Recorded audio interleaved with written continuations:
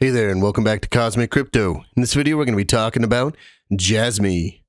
Let's go.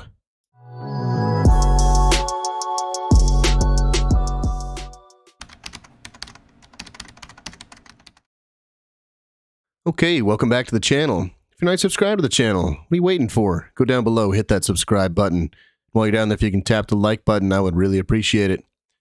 All right, Jasmy on the weekly time frame. I want to do a really quick update uh, for anybody who's missed all my videos. Jasmy is in a falling wedge, broke out of the falling wedge, getting resistance right here at the 382 fib level on the retracement, getting stuck there for one, two, three, and now four weeks. And now you're all caught up. all right, let's zoom in here and see what's going on. So I got a couple things I want to talk about. Um, I did talk about getting rejected off of this 382, and it'd be a lot of resistance at that 382, which is sitting at the 008 ish level, just above that. Uh, and the reason why is because it's a 382 fib retracement. That's a pretty heavy one right there. But also, you can see that we've got all this previous support over here and then a breakdown uh, from this wedge. And uh, so trying to get above that in one go is probably not going to happen. I mean, this was weeks. Uh, how many weeks was this? I'm on the weekly time frame. So this was 18 weeks it took uh, before it broke down below that. And so now we're going the other direction. So, I mean, I'm actually kind of thinking, and I think I said this before, that I think we're going to do something similar to this, create some kind of a, a wedge here, and then break to the upside this time, is what I'm kind of looking for. But let's go down to the daily. I want to show you a couple of other things here. So if this is a rising uh, or a, some kind of a wedge that we're getting into here, something like that maybe. Uh, first off, problem is we didn't come up and retest the top here, which is what I was hoping we would do. We actually broke down from that, and right now we are currently sitting at um, support for that. Now you could also, I mean, this trend lines can be moved all the time. That's why I'm not a big fan. You could actually move that there, and then maybe move this here for a longer wedge, something like that, which actually seems more likely, especially since once I get into this, these orange lines here in a second.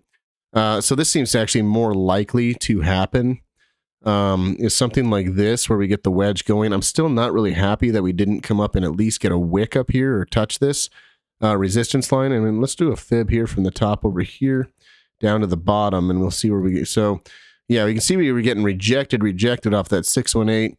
We had one push to the upside and then just a failed uh, attempt to go up and break down there. And um, uh, yeah, so and if we flip this around, from this bottom to this top, you can see that right now we are holding the 0.5. Let me move this line. The 0.5 fib right here, we're holding it right at the 0067 area. Um, and so we're holding that line, but it's not looking good. I mean, we go down to the cipher B here on the on the daily time frame. We've got a lower wave coming in. Um, you know, it just looks like it wants to go down further. And hopefully, I mean, if we come and we hold this 618, that would actually hold our trend line as well. Uh, so that's what I'd be looking for. But let's go down to the 12 hours so I can show you what these orange lines here are. You can clearly see that this was in some kind of a rising uh, wedge here. And those are technically bearish. And so that's basically what's playing out here. So we had this rising wedge come in and then just couldn't do it anymore broke down. Once it broke down, it just continued on. And the actual price target of this wedge would be to come all the way down to, let me move this over here. The price target for this wedge would to bring it down to the 786, actually, uh, which brings us down to the 0062 area. Uh, but that would also break us down from this trend line, which would not be a good thing. What I would not like to see is for us to fall down, hit that 786, come back up, get resistance at that trend line, and then fall even further, which, I mean, if it did do that, you can see that the 200 EMA on the 12 hour is actually right there. Um, so that would be my next level of support. So, I mean, if you look at this right here, if we're going to break down even further, this would be kind of what I'd be looking at for these, you know, for us to fall down, hit that 786, come back up, retest this uh, as resistance, then come back down and finally uh, find some support here at the 200 EMA on the 12 hour time frame. That would give the Cipher B here plenty of time to reset. Uh, that would also bring the RSI down quite a bit, hopefully not into the oversold area. I wouldn't like to see that. Uh, but then we can continue on to the upside. And if this is a, let's see, maybe an ABC correction going on here, a a larger one. You know, you got your AB and then a C correction, something like that, possibly playing out. Not really sure. I haven't really looked into that yet, so that's just kind of just a spitballing off the top of my head there.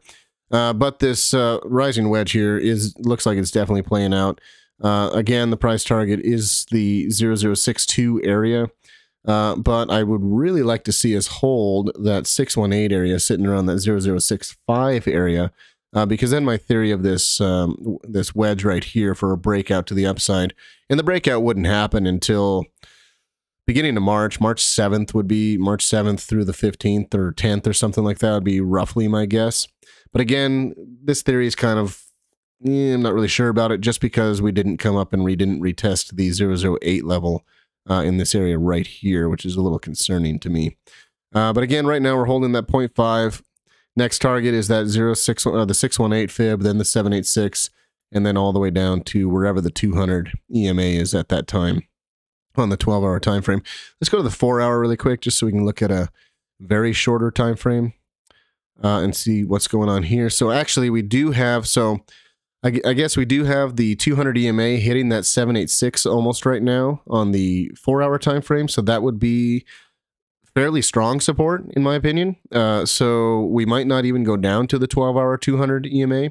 So we could just fall down and hit that 786, which is where the 200 EMA would be, find support there. And at that point, we probably would have the Cipher B curling over and getting a green dot, something like we saw back over here.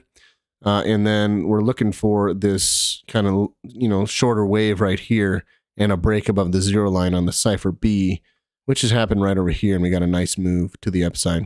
Uh, so that'd be kind of what I'm looking for for continuation. Right now, short term, I am a little bit bearish, uh, but obviously long term, if you've seen my videos, I'm very bullish on Jasmy. Um, but uh, yeah, we, we, are looking like a correction's coming in, uh, which it already has, but a little bit further possibly, and even not much further if we are just going to go down to the 618 here. So pretty much all I got for Jasmy. If you like this video, please subscribe to the channel, hit that like button, share with your friends and I will talk to you later.